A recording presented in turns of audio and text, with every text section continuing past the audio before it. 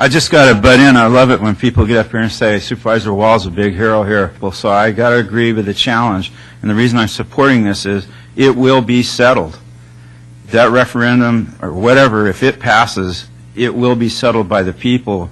And I've got to agree. People better, if they think they're going to stop marijuana growing, they better get out and vote. Um, I represent over 5,000 growers, and I know that.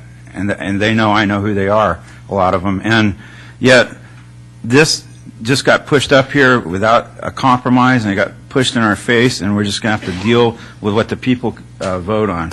And I just love the revisionist history of everybody showing up, and they weren't here the first time we did this. We had it. No, I'm talking about the other side of this issue. I'm talking about the other side. They re- revise history. Then we put people in a room and they come up with a compromise and it didn't work.